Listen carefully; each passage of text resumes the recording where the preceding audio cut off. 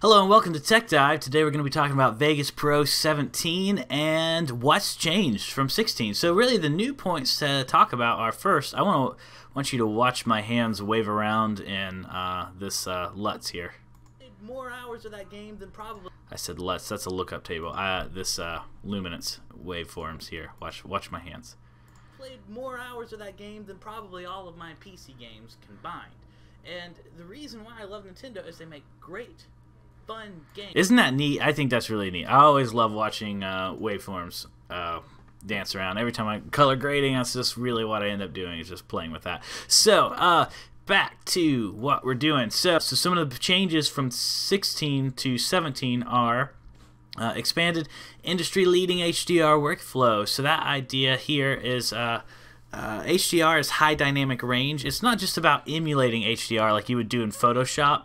Uh, what HDR means is that you get the highest highs and the lowest lows all represented on the same shot. So uh, while this time, you know, you definitely got blacks and whites, it's as if you took the picture three separate times. You took a low uh, a low f-stop picture, right? A low light picture, a normal light picture, and a highlight picture, and then you composite those images together. That is actually what HDR is, and you can do that with video as well uh, to get a high dynamic range, an un unnatural but extremely cool, extremely dynamic looking. Well, some people argue more natural, uh, but extremely dynamic, extremely cool looking uh, pictures.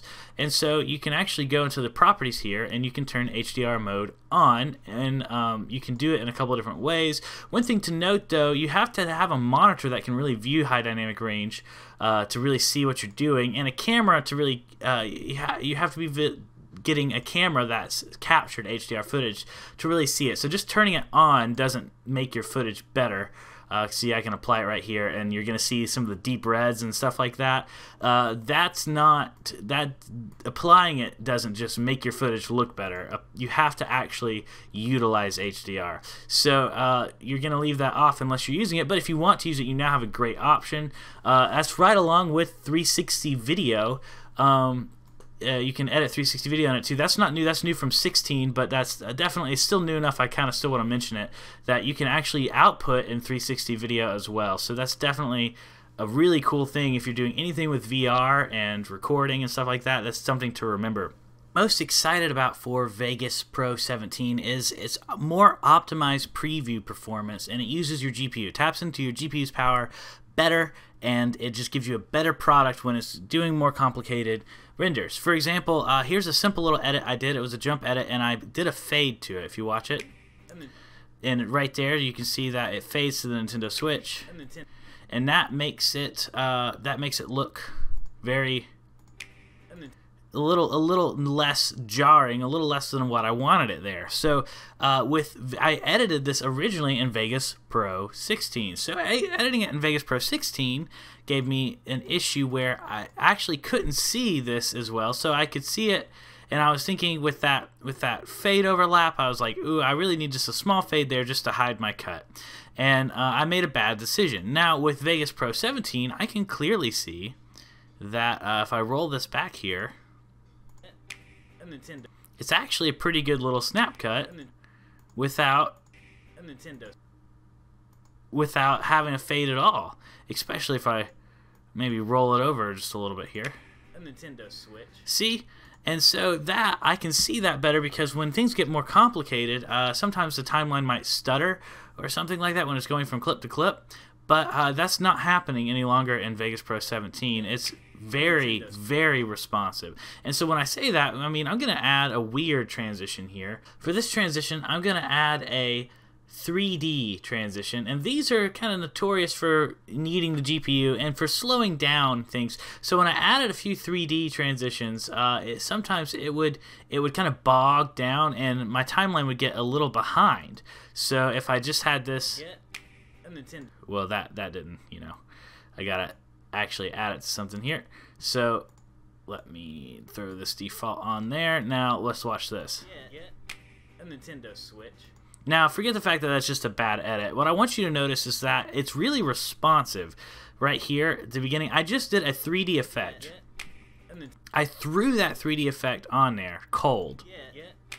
A Nintendo Switch. And it and it shows it, it renders it out in real time very effective. So one of the changes from Vegas Pro 17 is its motion, slow motion uh, ability. So uh, one of the problems with slow motion is you're actually generating frames in most cases. So unless you're the slow-mo guys with a high-speed camera, you're really emulating slow motion instead of actually recording in slow motion. So you actually don't have a lot of frames. And so I actually have this very old video footage, and someone has taken a 24 frames a second footage and turn it into 25 frames a second footage, uh, which is the European PAL uh, standard. And this was definitely sh probably shot at 24 frames a second. But what I'm telling you is, is this has very little information per frame. This is not high candidate slow-mo footage. So why do I get slow-mo footage that is not high high candidacy slow-mo footage?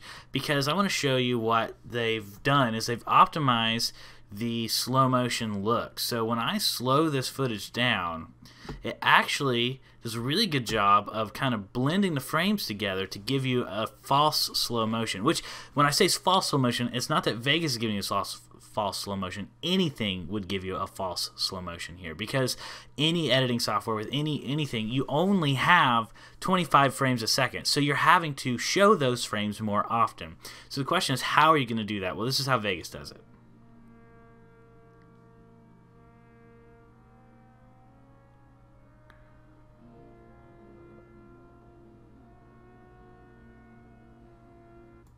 So that that now you might still think, oh, I see some chopping a little bit and uh, stuttering, but if you've slowed down a lot of footage, you'll realize that that is actually pretty good looking.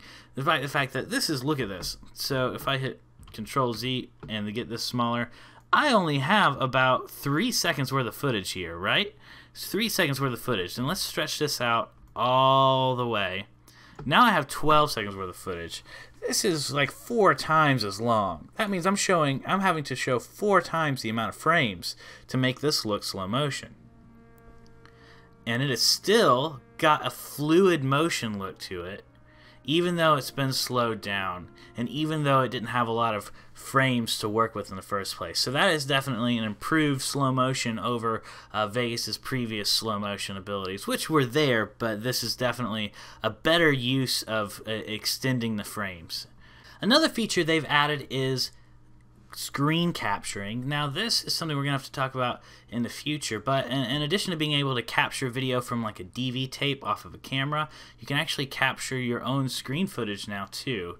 Now, this is something that I think we're going to see more advancedness come along over time. So, uh, we'll be talking about this later, but just so you know, this has been added in Vegas Pro 17, and it's also been added in Movie Studios 16 as an update. So an update came out that added it to Movie Studio 16, uh, but it's also here for 17. And we'll be talking about more in the that in the future as it evolves. So when you're editing 4K footage uh, and and sometimes larger footage files, you might you might want to do some pre-rendering, where you can selectively pre-render to a new video, or even do uh, where you can grab some of the source footage and you can create proxy files. So you can hit uh, create video proxy and make a proxy file to break it down and make it easier for a computer to show you what's happening in real time uh, while not actually showing you the like the it's not actually messing with the high quality big video it's messing with a smaller video to make it easier in a computer to do these changes for example here I have a, a 4k video and I have another 4k video squeezed up in the corner that's going to take a lot of processing. Um, and so you can actually do this with 8k video files now. And so these 8k ones are going to have intense bit rates like crazy bit rates because when you're working with 8k files you're actually working with like movie making camera. So uh, that bitrate is something that you definitely, you know, unless you have like the most top of line computer, you're probably going to be creating a proxy file for it. You now have the ability to create proxy files for your 8K media, which sadly I don't have because I don't have enough subscribers yet. But I tell you what, if I get to a million subscribers, I will buy a Cinema 8K camera and do all sorts of cool stuff with it. I promise you that. All right, so one of the next things they've added is uh, they've improved their masking some. So when you when you track something, when I say masking, I mean their tracking abilities with their Bezier masking, or is it um, Bezier masking? I think I, have been calling it Bezier masking because I'm crazy, uh, but Bezier masking. But you, you, need some motion tracking to be able to do kind of some kind of special effects. And uh, what they've done is they've actually changed uh, uh, some ability to to this has changed from 16 where you can actually change the shape of your track. And that's planar tracking is where you can actually change the shape that you're tracking over time which can give you some really more complicated uh, tracks. So we'll have more on that to more tutorials on that soon as well so that brings us to color grading. So what we're going to talk about is how they've improved your ability to color grade uh, by creating more unified workflows. So you can hit Alt and G, and you can you can see here that they you can open up all these tables all at once. So I like I like this setup right here because I really enjoy a good histogram. To me, that's what makes the most. That's where I can get the most amount of information for what I'm doing. Uh, these are great as well, especially if you're doing. Uh, color grading and you can do that a lot easier now and you can jump from your different tools right here and this is not the only way you can color grade. You can also do it through your effects as well, including a secondary color corrector where you can isolate colors and change them. So there's obviously a ton of color power in Vegas, more than ever before, which is extremely necessary now that we're doing, now that it's capable of doing high dynamic range.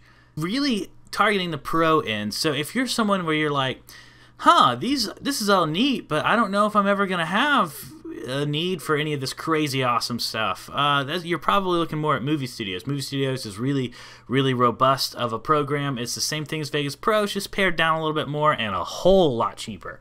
Uh, but if you are an industry professional, you very much might want what Vegas Pro has to offer. Last but certainly not least is Project Notes. So here's the cool thing about Project Notes is you can make notes. And so if you're working with other people, you can be like, you get this done if you're uh, if you're trying to be lazy and you want to skip an edit, you can be like fix the color later, or if you uh, uh, if you nested too many timelines and you think it's going to be confusing, you can be like uh, blank footage is nested. You can leave all those notes in there and you can well, you can give yourself something to do like so somebody can come back and somebody can watch your project and then they can come back and they can be like uh, get rid of all your uhs and then you can go through cut out all your uhs and then be like ah resolved and that is what I like. I like that resolve button. I'm going to make my own to-do list just so I can go through and hit resolve on everything and that is Vegas Pro. If you've enjoyed this tutorial, please like it. Uh, if uh, not really a tutorial, it's more of a uh, product showcase. If you've enjoyed this video, please like it. If you uh, would like more Vegas Pro content or Movie Studios content, please subscribe to our channel. I come out with multiple videos a week, and I'm ready to make more today and tomorrow. So thank you so much for watching. I'll see you next time. Oh, and if you would like to buy or upgrade your software, if you do it through our affiliates link, that would help us out a ton. Thank you so much, and I'll see you next time.